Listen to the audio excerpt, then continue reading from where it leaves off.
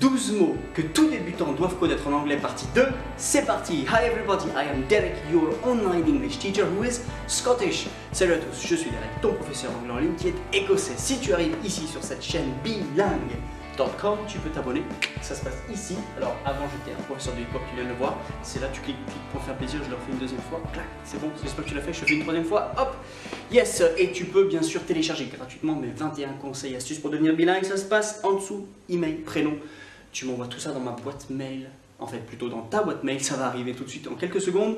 Je t'envoie des vidéos, je t'envoie des PDF, des trucs que tu peux imprimer, mettre sur ton frigo, apprendre simplement des outils. C'est excellent, il y a des centaines de personnes qui vont télécharger, qui me remercient et qui progressent simplement en anglais. On se retrouve de l'autre côté, c'est en bas que ça se passe. Alors, des mots utiles pour débutants. Euh, j'ai fait une première vidéo là-dessus.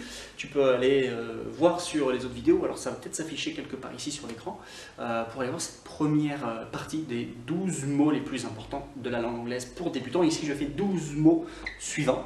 Donc ça fait 24, 12 et 12, 24. Pas prof de maths encore, pas de chaîne YouTube de maths encore, mais je me débrouille, ça devrait aller. what? Alors what, attention c'est pas what, c'est what. What? Il y a le H pour aussi dire what. C'est quoi Ok? Quand tu veux demander une information sur quelque chose.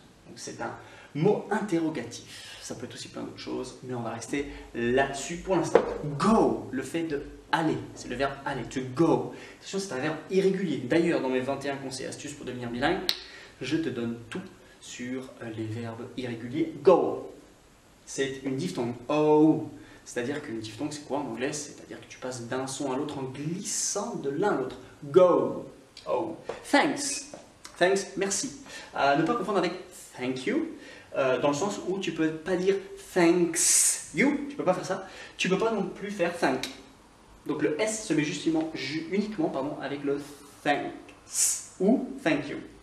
Ensuite, bye. Tu peux le répéter deux fois. Bye bye. Trois fois, ce n'est pas possible. Bye bye, c'est-à-dire hmm, merci, au revoir.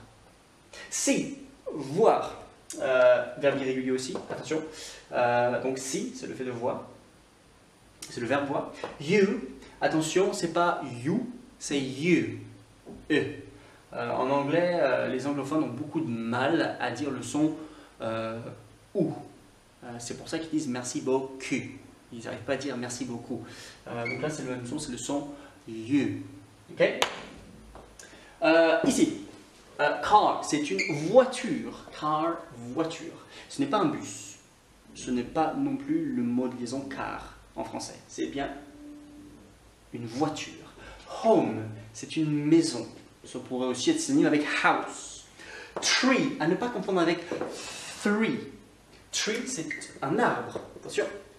Three, c'est trois. La tree, un arbre. Tree. Euh, family, la famille sur un L.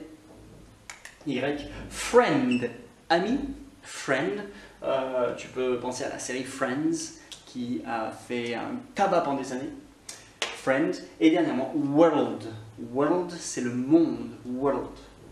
Voilà, je t'en donne 12 là qui sont plus qu'utiles que tu vas retrouver. Et euh, tu peux euh, repartir, je ne sais pas si tu as vu le mouvement de tout à l'heure, mais euh, tu peux aller cliquer là-bas pour t'abonner sur cette chaîne YouTube et repartir avec tes 21 conseils astuces pour devenir bilingue. C'est gratuit. Have a lovely day. Bye bye.